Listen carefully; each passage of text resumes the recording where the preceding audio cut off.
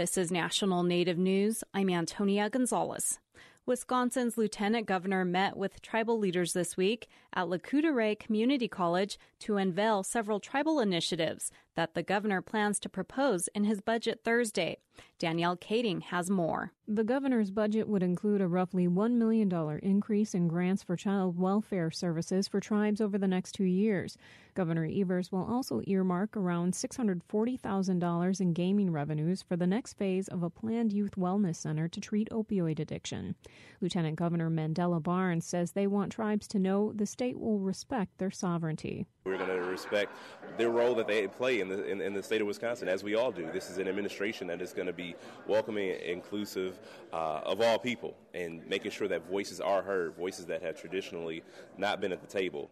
Lac Courte Oreilles Vice Chairman Jason Schlender says he's encouraged by what the administration is proposing. Many tribes have declared a state of emergency as far as this opioid epidemic and and so that's one way of reaching out and helping us, you know, having a place for our youth to go and or if it's just treatment in, in general. The governor's budget would also provide more than half a million dollars for language revitalization and around $1 million in higher education grants to tribal college students.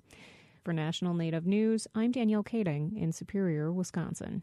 South Dakota Governor Kristi Noem says plans are underway to display tribal flags at the state capitol. Noem made the announcement during Tribal Relations Day. She says the flags will be a reminder to tribes that the state is with them, part of reconciliation and a new beginning. A ceremony will be planned with the nine tribes in the state. Neighboring tribes in North Dakota formally presented their flags to state lawmakers and officials in January. The five tribal flags are on display in the North Dakota Capitol. A South Dakota House committee passed a bill Wednesday to codify the official indigenous language of the state. Lakota, Dakota, and Nakota.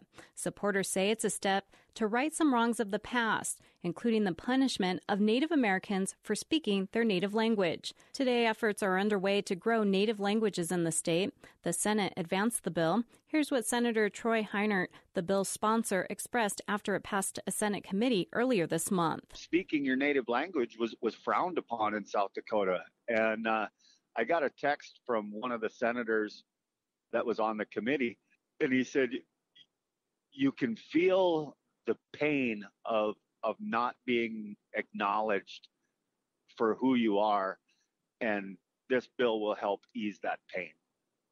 And you know that's that's pretty emotional right there. The bill heads to the House floor. The Michigan Democratic Party recently formed a Native American caucus. The group includes citizens from Michigan tribes to bring forward Native issues, including addressing violence against Native women, advancing education, and addressing stereotypes in the treatment of Indigenous people.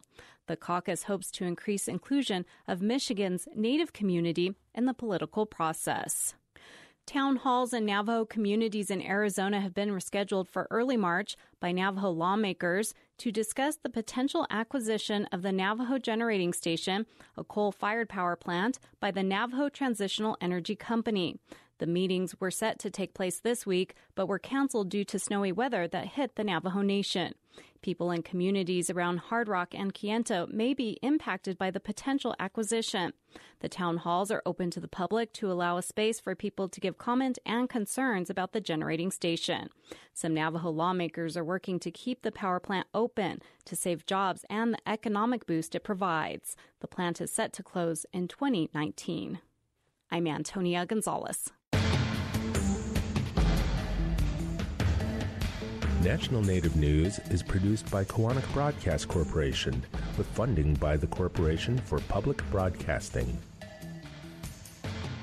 Support by Vision Maker Media, whose mission is to empower and engage Native people to share stories.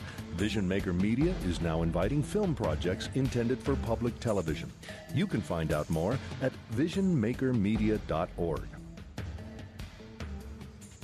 Support by PrairieEdge.com, where you'll find a variety of buffalo items like robes, skulls, rattles, and drums, serving the Native American community for over 36 years, located in Rapid City, or online at PrairieEdge.com. Wopila.